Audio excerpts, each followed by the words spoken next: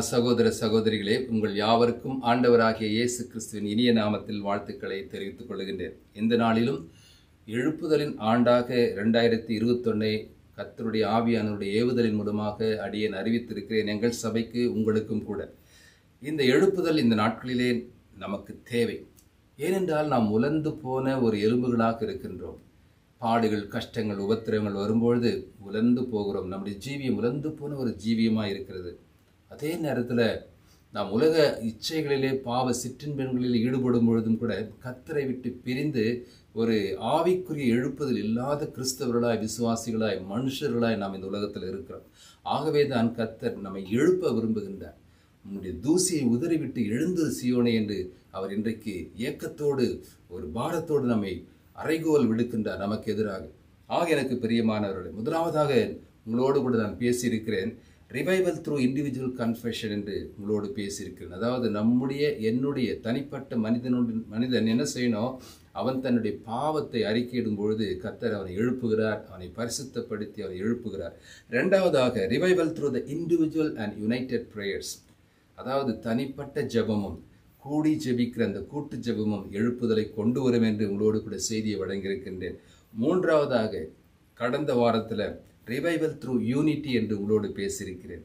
ஐக்கியத்தோடு நாம் ஒருவனதோடு ஒரே ஆவியோடு ஒரே நோக்கத்தோடு நாம் செயல்படும் பொழுது கத்த எழுப்புதலை தேசத்தில் கொண்டு வருவார். நம்முடைய கிறிஸ்துவ ஜீவியத்தில் ஆவிக்குரிய ஜீவியத்திலே குடும்பத்திலே நகரத்திலே சபையிலே கொண்டு வருவார் என்று உங்களோடு கூட ஐக்கியத்தின் மூலமாக எழுப்புதல் வரும் என்று பேசியிருக்கிறேன். இன்றைக்கு revival through the Holy Spirit என்ற தலைப்பிலே உங்களோடு பேச விரும்புகின்றேன். ஆம் எனக்கு பிரியமானவர்களே பரிசுத்த ஆவியானவர் இல்லாமல் நாம் என்னதான் ஜெபித்தாலும் என்னதான் கூடினாலும் என்னதான் நம்ம பாவத்தை அறிக்கையிட்டாலும் கூட இவைகள் ஒரு கிரியைகளாக இருக்கிறது. அது ஆவிக்குரிய கிரியைகளாக இருந்தாலும் கூட ஆனால் ஆவியானவர் அதை எழுப்ப வேண்டும். ஆவியானவர் மூலமாய் நாம் செய்யும் பொழுது நிச்சயமாய் பெரிய எழுப்புதலை காண முடியும். பாருங்கள் the great preacher the prince of preacher என்று சொல்லப்படுகிற பதினேழாம் நூற்றாண்டிலே வாழ்ந்த சிஎச் ஸ்பர்ஜன் என்ற பெரிய போதகர் எழுதியிருக்கின்றார் without the Spirit of God we can do nothing we are as ships without wind we are useless என்று எழுதியிருக்கார். அதாவது அது பரிசுத்த ஆவியானவர் இல்லாமல் நாம் எதையுமே செய்ய முடியாது. அது மாத்திரமல்ல ஒரு கப்பல் நகர வேண்டுமானால் சுக்கான் என்று சொல்லுவாங்க. அது வந்து காற்று அடிக்கும் பொழுது அந்த சுக்கான் இயங்கும். அந்த கப்பலும் நகரும். அந்த சுக்கான் இல்லாமல் காற்று அடிக்காமல் கப்பலும் நகர முடியாது. அதுபோல தான் நாமும் கூட பரிசுத்த ஆவியானவர் இல்லாமல் நாம் எதையும் செய்ய முடியாது.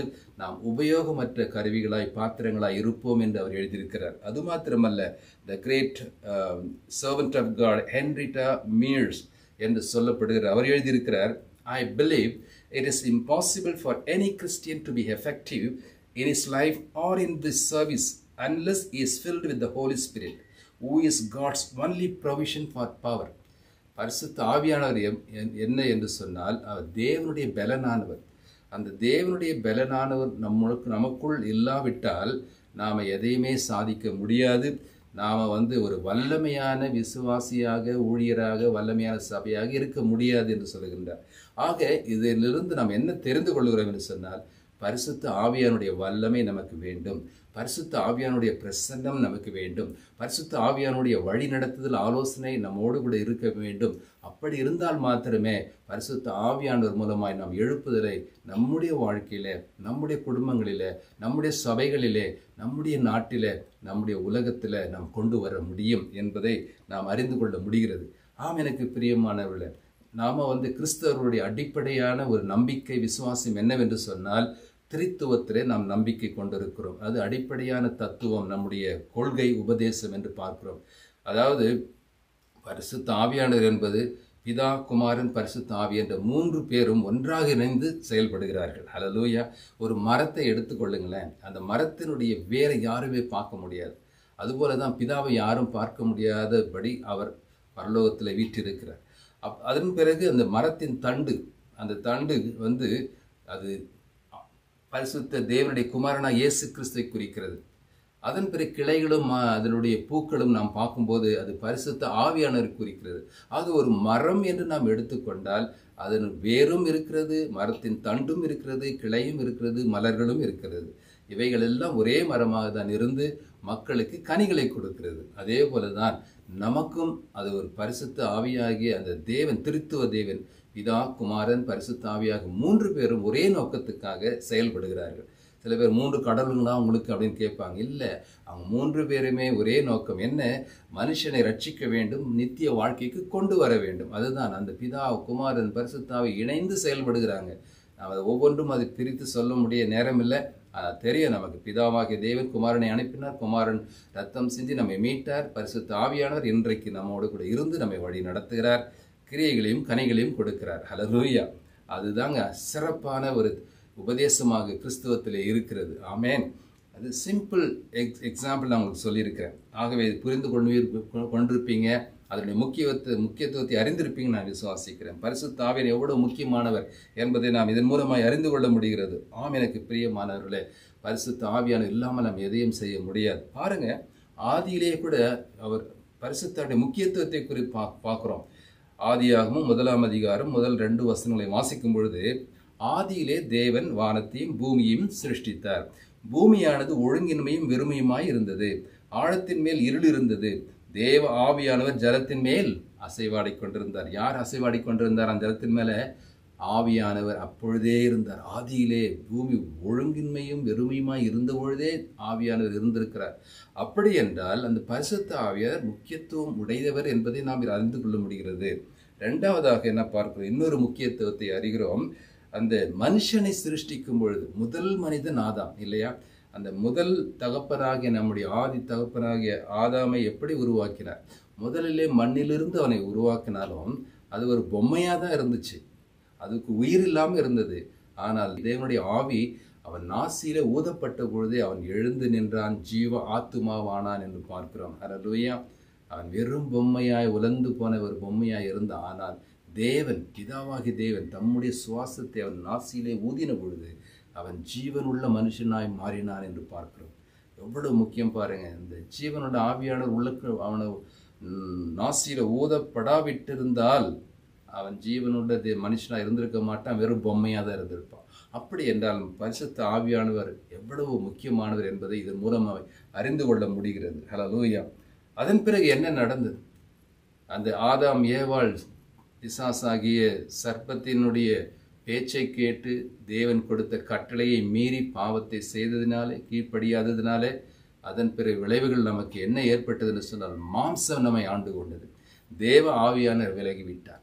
எப்பொழுது ஆதாம் ஏவாள் கீழ்ப்படியாமல் கீழ்ப்படியாத காரியத்தினால பாவத்தை அவர்கள் உள்- அவருடைய வாழ்க்கையில் ஏற்றுக்கொண்டார்களோ பாவம் அவர்களை தொற்றி கொண்டதோ மனிதனுடைய வாழ்க்கையிலும் அப்படியாகத்தான் பாவம் தொற்றி கொண்டது விளைவுகள் நமக்கு தெரியும். கொலை கொள்ளை கற்பழிப்பு இன்றைக்கு நடக்கிற அக்கிரமங்கள் அநியாயங்கள் பொய் களவு பெருமை பொறாமை இச்சைகள் எல்லாம் அதனால தான் வந்தது. ஆக எனக்கு பிரியமானவர்களே அப்படியாக மாம்சம் ஆள தொடங்கிவிட்டது மனுஷனை. தேவ ஆவியானர் விலகிவிட்டார். மனுஷனுடைய ஆவி சுய ஆவிதான். மாம்சத்தின் காரியம்தான் நடக்க ஆரம்பித்தது. அதைத்தான் அருமையாக நாம ரோமருக்கு எழுத நிறுவம் எட்டாம் அதிகாரத்தில் ஐந்திலிருந்து ஒன்பது உள்ள வசனங்களை நீங்கள் வீட்டிலே போய் வாசித்து பாருங்கள். அங்கே மாம்ச சிந்தை மரணத்தை உண்டாக்குனது ஆனால் ஆவியின் சிந்தையோ ஜீவனும் சமாதானத்தை உண்டாக்கும் என்று சொல்லுகிறார். இந்த மாம்சமானது இச்சைகளையும் பாவத்தையும் பெருமை பொறாமைகளையும் பாவமான இருதயத்தையும் பாவமான சிந்தைகளையும் கொண்டு வந்தது. ஆனால் தேவனுடைய ஆவியானவர் வந்ததுனால தான் வந் வருவதனால தான் அவர் நம்மை ஆட்கொண்டு கொண்டார் கொண்டாரானால் நாம் ஜீவனும் சமாதானமாய் வாழ்ந்த உலகத்தில் வாழ முடியும். அதாவது மாம்சத்தையும் ஆவியையும் அவர் பிரித்து பவுல் அப்போஸ்தலர் ரோமருக்கு எழுதுகின்றார். மாம்சத்தினுடைய கிரியைகள் என்ன? அது ஆளுகை செய்வதனால் என்னென்ன நடக்கிறது? ஆனால் ஆவியானவர் நமக்குள் வரும்போது என்ன நடக்கும்? ஆவியானவர் இல்லாவிட்டால் ஒரு கிறிஸ்தவன் கிறிஸ்தவன் அல்ல என்று சொல்லுகின்றார். அலலூய ஆவியானவர் இல்லாதவன் கிறிஸ்தவன் அல்ல என்று அந்த ரோமர் எட்டாம் அதிகாரத்தில் நீங்கள் வாசிக்கலாம். முதல் பகுதியிலிருந்து பத்தாம் வசனம் வரைக்கும் நீங்கள் வாசித்து பாருங்க. ஆக எந்த மாம்சனமை ஆள துவங்கின பொழுது ஆவியானவர் இல்லாமல் போய்விட்டார். அதனால தான் இன்றைக்கு அக்கிரம அநியாயம் ஏன் செய்கிறாங்கன்னு சொன்னால் அவங்களுக்குள்ள ஆவியானவர் இல்லை. பரிசுத்த ஆவியானவர் இல்லை. நமக்கும் அந்த வேளையில் நம்ம கிறிஸ்தவர்களாக இருந்தாலும் நாம் ஆராய்ந்து பார்ப்போம் நமக்கு இருக்கிறதா என்று சொல்லி. ஏன்னா நாம் செய்கிற காரியங்கள் பாவமான பழக்க வழக்கங்கள் எல்லாம் மாம்சத்தை மாம்சம் ஆளுகை செய்தனால தான் செய்கிறோம் மாம்சம் தூண்டுவதனால செய்கிறோம் ஆனால் தேவ ஆவியானவர் நமக்குள் இறங்கிவிட்டால் அபிஷேகித்தால் நாம் அதை செய்ய மாட்டோம். ஆகவே ஆவி இல்லாதவன் பரிசுத்த ஆவி இல்லாதவன் கிறிஸ்தவன் அல்ல என்று நாம் பார்க்குறோம். சரி. இப்பொழுது இந்த ஆவியானது நமக்கு தேவையா இல்லையா? கண்டிப்பாக தேவை. ஆம் எனக்கு பிரியமானவர்களே ஆண்டவராக இயேசு கிறிஸ்துவே பரலோகத்துக்கு போகிறதுக்கு முன்னால் ஒரு அருமையான ஜெபத்தை பிதாவினிடத்துல ஜெபித்தார். என்ன தெரியுமா? யோவான் சுவிசேஷம் பதினாலாம் அதிகாரம் பதினாறு பதினேழாம் வசனங்களில் பரிசு ஆண்டவராக இயேசு கிறிஸ்து இவ்விதமாய் ஜெபித்தார். பிதாவே நான் இப்பொழுது இடத்துல வருகிறேன். அதுக்கு பின்னாலே ஒரு தேற்றரவாளனை அனுப்பும். அவர் இப்பொழுதும் இவர்களோடு கூட வாசம் பண்ணணும் என்று சொல்லி அவர் அங்கே ஜெபித்ததை நாம் பார்க்கிறோம். ஆம் எனக்கு பிரியமானவர்களே அப்பொழுது ஆண்டவராக இயேசு கிறிஸ்து அவ்வளவு முக்கியத்துவத்தை கொடுத்து பரிசுத்த ஆவியானவரை நமக்கு வேண்டும் நம்மிடத்தில் வாசம் பண்ண வேண்டும் என்று ஜெபித்தாரானால் அவர் எவ்வளவு முக்கியத்துவத்தை பரிசுத்த ஆவியானவருக்கு கொடுத்திருக்கிறார். நமக்குள் வாசம் பண்ண அவர் வேண்டியிருக்கிறார் என்று பார்க்கிறோம். John chapter fourteen verses sixteen and seventeen நான் பிதாவை வேண்டிக் கொள்ளுவேன் அப்பொழுது என்றென்றைக்கு உங்களுடனே கூட இருக்கும்படிக்கு சத்திய ஆவியாகிய வேறொரு தோற்றரவாடை அவர் உங்களுக்கு தந்தருவார் உலகம் அந்த சத்திய ஆவியானவரை காணாமலும் அறியாமலும் இருக்கிறபடியால் அவரை பெற்றுக்கொள்ள மாட்டாது. அவர் உங்களுடனே வாசம் பண்ணி உங்களுக்குள்ளே இருப்பதால் நீங்கள் அவரை அறிவீர்கள் என்று சொல்லுகின்றார். லூயா ஆகவே நமக்குள் அவர் வாசம் பண்ணுகிறார். ஒரு கிறிஸ்தவன் இயேசுவை ஏற்றுக்கொண்டால் அவனுக்குள் அவர் வந்து வாசம் பண்ண ஆரம்பிக்கிறார். He comes and dwell in in him அப்படின்னா ஒரு கதவை திறந்து நம்ம ஒருத்தரை வர வாங்கன்னு சொல்லும்போது வந்து உட்காடுறாரு அதுபோல தான் பரிசுத்தாவியர் நமக்குள் இயேசுவை ஏற்றுக்கொள்ளும் பொழுது அவர் வந்து நம்மோடு கூட உட்காருகிறார் வாசம் பண்ணுகிறார். அது இன்வெல்லிங் ஸ்பிரிட் என்று சொல்லுவாங்க. ரட்சிக்கப்படும் பொழுது இயேசுவை ஏற்றுக்கொள்ளும் பொழுது ஆனால் அதே வேளையில் அவரை ரெசிடென்ட் என்று சொல்லும்போது அவரை பிரசிடெண்ட்டாக மாற்றணும் அப்படின்னா வந்து வாசம் பண்ணுகிற ஒரு தலைவராக மாற்றணும் அப்படின்னா நாம் அவரை நிறைவாய் பெற்றுக்கொள்ளணும். அபிஷேகமாய் பெற்றுக்கொள்ளணும். வல்லமையான நிறைவான ஒரு தலைவராய் நம்முடைய வாழ்க்கையை பெற்றுக்கொள்ள வேண்டும். அவரை அனுமதிக்க வேண்டும். ஆக பாருங்க ஆண்டவராக இயேசு கிறிஸ்துக்கே பரிசுத்தாவுடைய வல்லமை தேவைப்பட்டது. அதனால தான் அவர் அற்புதங்களையும் அடையாளங்களை செய்தார் என்று நாம் பார்க்குறோம். அப்போ சில நடவடிக்கைகள் பத்தாம் அதிகாரம் முப்பத்தெட்டாம் வசனத்துல நசரேனாக இயேசுவை தேவன் பரிசுத்த ஆவியினாலும் வல்லமையினாலும் அபிஷேகம் பண்ணினார்.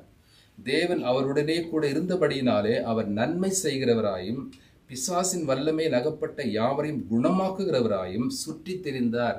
நல்லா கவனிங்க. ஆண்டவராக இயேசு கிறிஸ்து தேவனுடைய குமாரனாய் இருந்தாலும் மனுஷகுமாரனாய் மரியாள் வயிற்றில் பிறந்தாலும் கூட அவருக்கும் பரிசுத்த ஆவியினுடைய வல்லமை இந்த பூமியிலே தேவைப்பட்டது. அவர் செய்த ஊழியத்திலே தேவைப்பட்டது. அதனால தான் அவர் அற்புதங்களை அடையாளங்களை செய்தார் நன்மைகளை செய்தார் சுற்றி திரிந்தார். பாடுகள் உபத்திரங்கள் மத்தியிலே பரிசுத்த ஆவினுடைய வல்லமை அபிஷேகமாக நிறைவும் அவருக்குள் இருந்ததுனால அவர் வல்லமையான காரியங்களை செய்தார். பாடு உபத்திரம் வந்தாலும் தாங்கினார். அதற்கு பரிசுத்த ஆவியனுடைய பலன் வல்லமை உங்களுக்கும் தேவை எனக்கும் தேவை. அவை இல்லாவிட்டால் நாம் அற்புதங்களை அடையாளங்களை நாமும் ஊழியத்தில் செய்ய முடியாது பார்க்க முடியாது. அதே நேரத்தில் பாடு உபத்திரம் வரும்போதும் அதை தாங்கக்கூடிய பலனும் பரிசுத்தாவிட பலன் தருவார். நம்முடைய சுய பலத்தினால் எதையும் தாங்க முடியாது. ஏன் நம்ம தாங்க முடியாமல் தற்கொலை பண்ணுறாங்க போதை மருந்துக்கு அடிமையாகிறாங்க சண்டை போடுறாங்க பார்த்தா தாங்க முடியல சகிக்க முடியல. சுய பலனால் முடியல என்னால் முடியலன்னு சொல்கிறோம் ஆனால் பரிசுத்தாவுடைய பலன் வரும்போது நாம் உபத்திரவத்தையும் பாடுகளையும் சகிக்க அவர் பலன் தருவார். நல்லா கவனிங்க. அவருடைய பலன் வந்து ஒன்றை உடைக்கவும் எதிர்க்கவும் செய்யும். அதே நேரத்தில் பாரங்களையும் பாடுகளையும் தாங்கவும் அது பலனை கொடுக்கும். புரிந்ததுங்களா? ஹலோ லூயா சரி.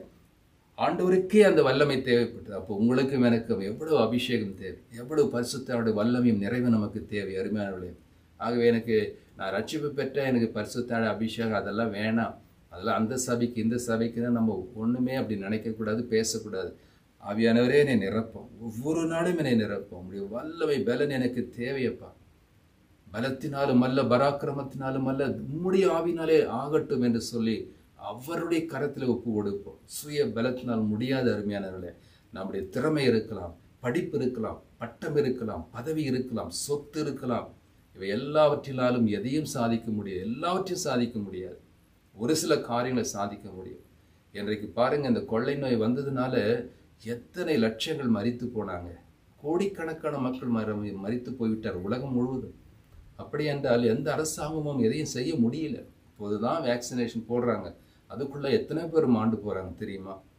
அதனால் எதுக்கு சொல்ல வரேன்னு சொன்னால் இந்த உலகத்தினுடைய வல்லமை மிலிட்டரி பவர் இருக்கலாம். எக்கானமிக்கல் பவர் இருக்கலாம். டெக்னாலஜி பவர் இருக்கலாம் சயின்டிஃபிக்கல் பவர் இருக்கலாம் அல்லது படிப்பின் பலன் இருக்கலாம். இவை எல்லா பலனும் எதையும் சாதி எல்லாவற்றையும் சாதிக்க முடியாது. ஆனால் எல்லாவற்றையும் செய்ய முடியும் பரிசுத்த ஆவியானுடைய வல்லமையினாலே. அதனால தான் சகரிய நாலு ஆறில் பலத்தினாலும் அல்ல பராக்கிரமத்தினாலும் அல்ல தேவனுடைய ஆவியினாலே எல்லாம் ஆகும் என்று சொல்லியிருக்கிறார். எல்லாம் ஆகுங்க. ஆவியானவர் நிறைவாக நீங்கள் பெற்றுக்கொள்ளும் பொழுது நானும் பெற்றுக்கொள்ளும் பொழுது பலப்படுத்துகிற அந்த ஆவியினால் எல்லாவற்றையும் செய்ய முடியும். ஓகே இரு லூக்கா எழுது எழுதின சுவிசேஷம் இருபத்தி நாலாம் அதிகாரம் நாற்பத்தி ஒன்பதாம் வசனத்தில் பரிசு ஆண்டவராக இயேசு கிறிஸ்து அதனால தான் சொன்னார்? சீஷர்களை பார்த்து.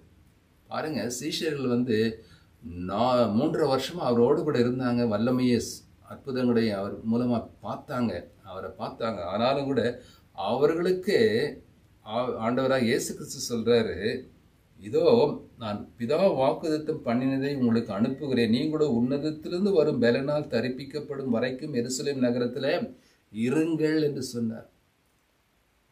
அப்போ சிலர் ஒன்றாம் அதிகாரம் எட்டாம் வசனத்தில் பரிசுத்த ஆவி உங்களிடத்தில் வரும்போது நீங்கள் பலனடைந்து எருசலேமிலும் யூதேய முழுவதிலும் சமாரியாவிலும் பூமியின் கடைசி பரியந்தவும் எனக்கு சாட்சிகளாய் இருப்பீர்கள் என்றார். ஹalleluya. அப்படி என்றால் அவர் சீஷர்களை பார்த்து சொல்றார் நான் போறேன் பிதாவிடத்துல பரலோகத்துக்கு. ஆனால் நீங்கள் இந்த பூமியில் இருக்கணும்னு சொன்னால் ஊழியம் செய்யணும்னு சொன்னால் வல்லமையான ஊழியங்கள் செய்யணும்னு சொன்னால் பாடுகளையும் உபத்திரங்களையும் ரத்த சாட்சிகளாக கூட நீங்கள் மறிக்க வேண்டும் என்று சொன்னால் இந்த பரிசுத்தருடைய வல்லமையும் அபிஷேகமும் உங்களுக்கு தேவை. அதனால் நீங்கள் எருசலேமிலே காத்துருங்க. அந்த பரிசுத்தருடைய பலனை நிரப்பிட்டு நீங்கள் உலகமாகவும் போங்க. பாருங்கள் தாமஸ் இந்தியாவுக்கு சென்னைக்கு வந்தார். அங்கே மறித்தார் என்று நாம் தெரியும். அப்படிப்பட்டவருக்கு பரிசுத்தானுடைய அபிஷேகம் தேவைப்பட்டது பீட்டருக்கு தேவைப்பட்டது பவுலுக்கு தேவைப்பட்டது மற்றும் யோவானுக்கு தேவைப்பட்டது. அதனால் எல்லாமே எருசலேம் முதல்ல பரிசுத்தாவுடைய வல்லமையும் பெறணும் அபிஷேகத்தை பெற்றுட்டு எங்கே வேணாலும் நீங்கள் போய் ஊழியம் செய்யுங்க வல்லமையாக செய்வீங்க. யூதர்கள் மத்தியிலும் கிரேக்கர்கள் மத்தியிலும் இன்னும் எல்லா அந்த ரோமர்கள் மத்தியிலும் அவர் வல்லமையான ஊழியங்களை செஞ்சாங்க. பாருங்கள் அந்த நாட்களில் கம்ப்யூட்டரே கிடையாது. ஏரோப்ளேன் கிடையாது கார் கிடையாது. தன் மத்தியிலும் அவர்கள் யூரோப்பாவையும் ஆசியாவையும் கலக்கினார் உலகத்தை கலக்குகிறவர்கள் இங்கேயும் வந்து விட்டார்கள் என்று சொல்லும்படியான வல்லமையும் அபிஷேகம் பரிசு தாவியனர் கொடுத்தார். அதனால தான் ஆண்டவருக்காக இரத்த சாட்சிகளை மறிக்கவும் தயாரானாங்க. அந்த பரிசுத்தாருடைய அபிஷேகத்தை அப்போ சில நடைபெற இரண்டாம் அதிகாரத்தில் அவர் ஒரு மனதோடு ஒரு இடத்துல கூடியிருந்தபோது அந்த மேலறையில் அக்னிமயமான நாவுகளாக இறங்கினார் பரிசுத்தார் நிரப்பினார். பல்வேறு பாஷை உள்ள நாடுகளிலும் வந்தவங்கெல்லாம் அபிஷேகத்தை பெற்ற பிறகு அந் அந்நிய பாஷை மாத்திரமல்ல வல்லமையை பெற்றுக்கொண்டு அவர்கள் சென்றார்கள். உலகத்தை கலக்கினார்கள் அந்த நாட்களில். இன்றைக்கு ரெண்டாயிரம் ஆண்டுகள் ஆகிவிட்டது. இன்றைக்கும் நம்ம உலகத்தை சுதந்திரிக்க முடியலையே இந்தியாவை சுதந்திரிக்க முடியலையே. காரணம் என்ன? பரிசு தாவியனுடைய வல்லமையும் பிரசனமும் வழிநடத்தலும் ஆலோசனை நமக்கு இல்லை. அவரை கேட்டு நம்ம பெற்றுக்கொள்ளலை. ஆவியானவர் யாரோ நினச்சின்னுக்கிறோம் நம்ம. அவர் தான் இன்றைக்கு நம்மை வழி நடத்துகிறவர் ஆளுகிறவர். அவர் மூலமாக தான் நம்ம எல்லாமே செய்ய முடியும். எத்தனை கமிட்டி போட்டாலும் கவுன்சில் மீட்டிங் வச்சாலும் அல்லது பாஸ்டேட் கமிட்டி வைத்தாலும் இதுவே மூலமாக நம்ம செய்ய முடியாது. நம்முடைய சுய திறமை படிப்பு அனுபவத்தை மருத்துவம் வச்சு செய்ய முடியாது. ஆவியாளர் நமக்குள் இருக்க வேண்டும். நம் மேலே இருக்க வேண்டும். நம்மோடு இருக்க வேண்டும். ஹalleluya உன்னத பலன் என்று சொல்லுகிறார். அப்படின்னா உலகத்துக்குரிய பலன்கள்லாம் பணம் பதவி படிப்பு பட்டம் அழகு அறிவு சொத்து சந்த இதுதான். ஆனால் உன்னதத்திலிருந்து வருகிற பலன் அது இறங்கி உங்களை நிரப்பும் பொழுது நீங்கள் வல்லமையான சாட்சிகளை உலகம் எங்கும் அமெரிக்காவில் நான் இருக்கிறேன். இங்கேயும் சபை அமைத்து ஊழியங்களை செய்கிறோம். இந்தியாவில் ஐந்து கிளை சபைகள் உண்டு அங்கேயும் செய்கிறோம். இருபத்தி ரெண்டு நாடுகளுக்கும் போயிருக்கேன் நான் என்னுடைய சுய பெறனால் அல்ல. சவுதி அரேபியாவில் சிறைச்சாலை ஏழு மாதங்கள் நான் கஷ்டப்பட்டேன். அந்த உபத்திரத்தை பாடுகளை சகிக்க ஆவியானவர் தான் பலன் கொடுத்தார். எல்லாம் கேட்பாங்க எப்படிங்க இதை தாங்குனீங்க? அப்படின்னு சொல்லுவாங்க. எனக்கு தெரியாது பரிசுத்தாவுடைய பலனால தான் இதெல்லாம் சகிக்க முடிந்தது என்று சொல்லுவேன். ஆம் எனக்கு பிரியமானவர்களே அந்த கட்டப்பட்ட தேசத்தில் நாங்கள் வல்லமையான ஊழியங்களை ரெண்டாயிரத்தி ஒன்றாம் ஆண்டு வரைக்கும் செஞ்சோம். எண்பத்தி நாலுலேருந்து ரெண்டாயிரத்தி ஒன்று வரைக்கும். காரணம் என்ன? யார் மூலம் செஞ்சோம்? அந்த நாடு கடத்தப்பட வேண்டிய ஒரு சூழ்நிலை சட்டங்கள் நிறைந்த அந்த தேசத்தில் எப்படி செய்ய முடிந்தது? வைராக்கியமாய் பத்து வகையான ஊழியங்களை இன்றைக்கு நான் நினச்சி பார்க்குறேன்? என்னால் முடியல என்னால் செய்யலை. என்னுடைய படிப்போ என்னுடைய அறிவோ ஒன்றுமே இல்லை. பரிசுத்த ஆவியான என்னை நிரப்பினதுனால வல்லமையான அபிஷேகத்தை பெற்றதுனால தான் தைரியமாக விஸ் வைராக்கியமாய் செய்ய முடிந்தது. ஒரு காரியம் சொல்கிறேன் பாருங்கள் பரிசுத்த ஆவியான வரும்போது உங்களுக்குள் ஒரு வைராக்கியம் வரும். ஜீல் என்று ஆங்கிலத்தில் சொல்லலாம். அன்பு ஆர்வம் தாகம் பாரம் ஆண்டவருக்குள் எதாவது செய்யணும். ஆண்டவருக்காக செய்யணும். மற்றவங்களை ஆத்துமாக்களை கொண்டு வந்து ஆண்டவருக்குள் ராஜ்யத்துக்குள்ளே சேர்க்கணும். ஊழியர்களை செய்யணும் என்ற ஒரு ஆசை வாஞ்சை தாகம் பாரம் வந்துவிடும். அதுதான் பரிசுத்த ஆவியானவர் தருகிற அவர் வரும்பொழுது நிரப்பும் பொழுது கிடைக்கிற பலன்கள் ஆசீர்வாதங்கள். அதை நாம் பெற்றுக்கொள்வோம் அருமையானவர்களே. அலலூயா பாருங்க உலர்ந்து போன எலும்புகளாய் இருந்த அந்த பள்ளத்தாக்கில் இருந்த அந்த யூத மக்களை பார்த்து ஆண்டவர் எஸ்ஏக்கிய மூலமாய் ஒரு தீர்க்க தரிசனத்தை உரைக்கும்படியாய் செய்கிறார். அது நம்ம எல்லாருக்கும் தெரியும். எசேக்கியா முப்பத்தி ஏழாம் அதிகாரத்தில் முதல் பத்து வசனங்களை நீங்கள் போய் வீட்டில் வாசிங்க. அதனுடைய காரியங்கள் நமக்கு நல்லா தெரியும். அவரை பார்த்து எசேக்கியாவை பார்த்து தேவன் சொன்னார். அதோ பள்ளத்தாக்கில் பார்க்குறீங்க பாரு. பார்க்குற பாரு எல்லாமே ஒரு எலும்புகள்லாம் தனித்தனியாக இருக்குது. உள்ளந்து போன எலும்புகள்லாம் தனித்தனியாக இருக்குது ஆனால் நீ ஒரு தீர்க்க தரிசனம் அவளை பார்த்து உரை என்று சொல்லுகின்றார். என்ன தீர்க்க தரிசனம் உரைக்கணும்? எலும்புகளை எல்லாம் ஒன்று கூடுங்கள் என்று சொல்லணும். பார்த்து உரைக்கணும். அப்படியாக அவன் என்ன செய்கிறான்? அந்த கத்தருடைய ஆவியான அவருக்குள்ளே வந்த பொழுது அவன் எலும்புகள் நிறைந்த ஒரு பள்ளத்தாக்கில் போயிட்டு இவ்விதமாய் சொல்லும் பொழுது அந்த எலும்புகளை நோக்கி நான் உங்களுக்குள் ஆவியை பிரவேசிக்க பண்ணுவேன். அப்பொழுது உயிரடைவீர்கள். ஐந்தாம் வசனம் முப்பத்தி ஏழு இசைக்கல் முப்பத்தி ஏழு ஐந்தாம் வசனம். நான் உங்கள் மேல் நரம்புகளை சேர்த்து முதல்ல என்ன செய்கிறாரு? அந்த எலும்புகள் தனித்தனியாக இருந்தெல்லாம் அப்படியே கூடி வருது. சரியா? அப்படியே அப்போ கூட எலும்புகள் தான் இருக்கும். நரம்புகள் அப்புறம் உருவாகிறத பார்க்குறோம். அதன் பிறகு மாம்சத்தை அவர் உண்டாக்குகிறார். அந்த மாம்சத்தின் மேல் தோலை நான் மூடுகிறார். உங்களில் ஆவியை அதன் பிறகு கட்டளைவன் அப்பொழுது நீங்கள் உயிரடைந்து நான் கத்தர் என்று அறிந்து கொள்வீர்கள் என்று உரைக்கிறார் என்று சொல் என்றார். அப்படியாக அவன் உரைக்கிறான். அந்த எலும்புகள் எல்லாம் ஒன்றாக சேருகிறது. அதன் பிறகு மாம்சம் உண்டாகிறது. அதன் மீது தோல் மூடுகிறது. ஆனாலும் உயிர் இல்லை. ஆனாலும் அது எழுந்து நிற்கலை காரணம் என்ன? உலகத்தினுடைய காரியங்கள் ஆவிக்குரிய காரியங்கள் கூட நாம் செய்யலாம். ஜெபிக்கலாம் வேதம் வாசிக்கலாம் சபையில் ஊழியம் போய் செய்யலாம். ஆனால் பரிசுத்த ஆவியானர் இல்லாமல் நாம் உயிருள்ள கிறிஸ்தவர்களாய் எழுப்புதலை பெற்ற கிறிஸ்தவர்களாய் மனுஷர்களாய் நாம் வாழ முடியாது. அதற்காக தான் என்ன சொல்கிறாரு இவ்வளவு பண்ணியும் கூட அந்த எலும்புகள் மாம்சமாகி மாம்சம் உண்டாக்கி அதன் மேலே தோலை உண்டாக்கி இருந்தாலும் கூட நரம்புகள் உண்டானாலும் கூட அவை உயிராக இல்லை. ஆனால் ஆண்டவர் என்ன சொன்னார்? நீ பல நான்கு திசைகளிலிருந்து காற்றை அனுப அனுப்பு அனுப்புகிறேன் என்று சொல்கிறார். அப்பொழுது என்ன ஆனது? காற்று நான்கு தினசு வந்து கொலையுடைய உயிரடைபடிக்கு மேல் ஊது என்கிறார். எனக்கு கற்பிக்கப்பட்டபடி நான் தீர்க்கதரிசியில் உரைத்தேன். அப்பொழுது ஆவி அவர்களுக்குள் பிரவேசிக்க அவர்கள் உயிரடைந்து காலூன்றி மகா பெரிய சேனையாய் நின்றார்கள். அல்லேலியா சொல்லாமா? ஹalleluya அந்த நான்கு திசையிலிருந்து காற்று வந்து வீசின பிறகு அந்த எலும்புகள் மாம்சம் நரம்புகள் தோல் மூடினாலும் கூட அந்த ஆவி உ- உள்ளே புகுந்த பொழுதுதான் அவை அந்த எலும்புகள் அதாவது தோலினால் மூடப்பட்ட மாம்சத்தினால் உண்டாக்கப்பட்ட நரம்புகள் உண்டாக்கப்பட்ட அந்த உருவமானது எழுந்து சேனையாய் நின்றது என்று பார்க்க அந்த எலும்புகள்லாம் சேனைகளாக நின்றாங்களாம். ஒரு ஆர்மி நமக்கு நம்ம நாட்டில் இருந்தால் எப்படி இருக்கும்? அந்த மாதிரி எழுந்து நின்றார்கள் என்று பார்க்குறோம். அல்லேலூயா இன்றைக்கும் கூட. நீங்களும் நானும் எழுந்து நிற்க வேண்டும் என்று சொன்னார். அந்த ஆவியானவர் நமக்குள் வர வேண்டும். நம் மீது வர வேண்டும். அபிஷேகமாய் நாம எந்த சபை பாகுபாடின்றி இவங்களுக்கு தான் அது எங்களுக்கு இல்லை அப்படிலாம் நம்ம பேச்சு பேசிக்கொண்டே இல்லாமல் வாதாடிக்கொண்டே இல்லாமல் ஆண்டவரை எனக்கு அந்த ஆவி நிறைவு வேண்டும். எனக்கு அந்த அபிஷேகம் வேண்டும். எனக்கு அந்த பலன் வேண்டும். உமக்காக வல்லமையான காரியங்களை நான் செய்யணும் ஆண்டவரை வல்லமையான ஊழியங்களை செய்யணும்ப்பா. மற்றும் இந்த தாக்குதல்கள் உபத்திரங்கள் பாடுகள் கிறிஸ்தவர்களுக்கும் கிறிஸ்தவ நாடுகளுக்கும் சபைகளுக்கும் இன்றைக்கு அதிகமாக எழும்பிக் கொண்டிருக்கிறது நாங்கள் சமாளிக்கணும்னா மேற்கொள்ளணும்னா எங்களால் முடியாது. உங்களுடைய பலன் வேண்டும் ஆவியானவரே. எங்களுடைய நிரப்பம் நிரப்பம் அந்த அனுபவம் மேல் வீட்டு அனுபவம் எனக்கும் வேண்டும் எங்களுக்கும் வேண்டும். மாம்சமாக யாவர் மேலும் என் ஆவியை ஊற்றுவேன் என்று யோவேல் தீர்க்கதரிசி ரெண்டாம் அதிகாரம் இருபத்தி எட்டுலேருந்து முப்பது வரைக்கும் நம்ம பார்க்குறோம். அப்படி என்றால் நம்ம மாம்சம் இருக்குதுல்ல கிள்ளி பார்த்துங்க. எல்லாரும் மேல்தான். இந்த சபை அந்த சபை அப்படிலாம் இல்லை. இந்த கிறிஸ்தவ அந்த ஊழியக்காருக்கு மாத்திரம் அப்படிலாம் இல்லை. மாம்சமான உங்களுக்கும் எனக்கும் அவர் மேலே ஊற்ற தயாராக இருக்கிறார் அதை பெற்றுக்கொள்ள தயாராக இருக்கிறீங்களா ஊழியக்காரர் மேலே ஊழியக்காரன் அந்நாட்களில் நாவியை ஊற்றுவேன்.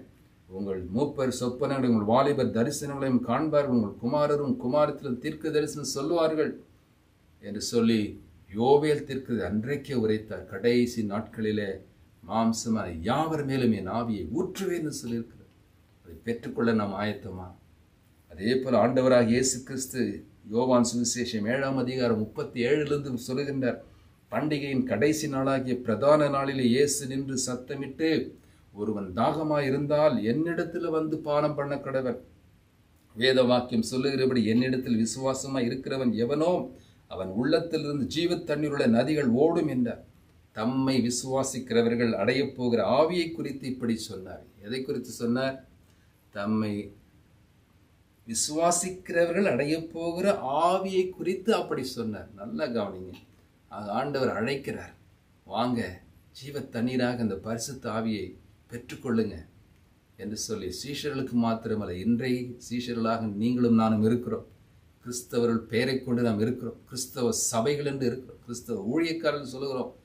பரிசு தாவியானவர் நமக்குள் இருக்கிறாரா? பரிசு தாவிட நிறைவு அபிஷேகம் நமக்கு இருக்கிறதா? அந்த அபிஷேகத்தை பெற்றுக்கொண்டிருக்கிறோமா? இதுதான் நாள் இதுதான் காலம். பெந்தேகோஸ்த அனுபவம் தாருமே.